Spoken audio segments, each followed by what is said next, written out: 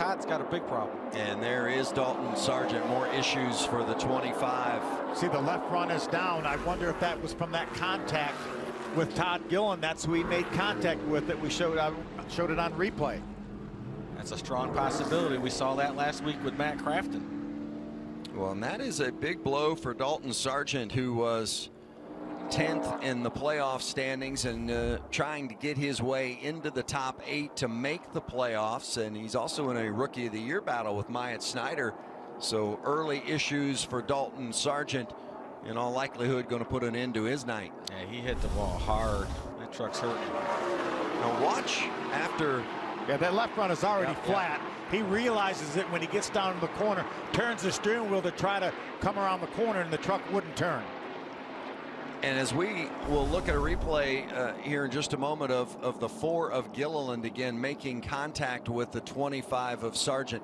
Uh, when we show this here, watch the crease just above the left front tire after this contact here.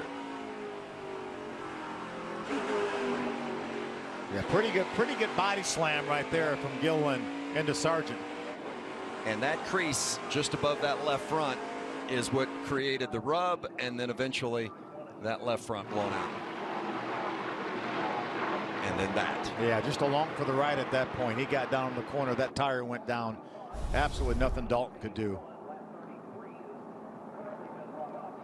So a tough situation for the 20-year-old from Boca Raton, Florida. Dalton Sargeant is out. And remember last week, Stewart Friesen and Matt Crafton, there's Crafton in that neon 88. They had a little bit of contact, and that created a rub on the left front of Crafton, and then that was the result. Not unlike what we just saw from the 25 of Sargeant. Almost exactly the same thing. Several good trucks got taken out in this situation here. John Hunter Nemechek had a, had a great truck. It knocked him out of the race.